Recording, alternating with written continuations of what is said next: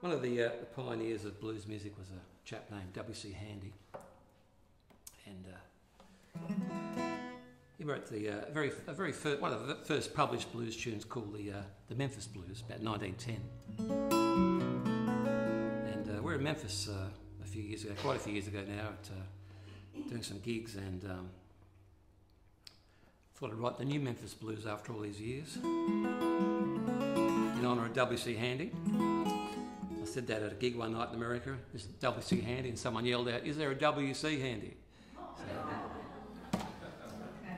that's that's true. I did. Didn't quite know what to say, really. Yeah. But his his, his uh, first and middle name wasn't Water Closet, believe me. It's, uh, it's William Charles, I think.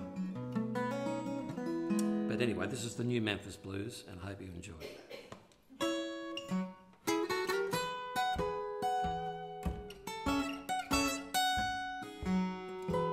All Star Blues.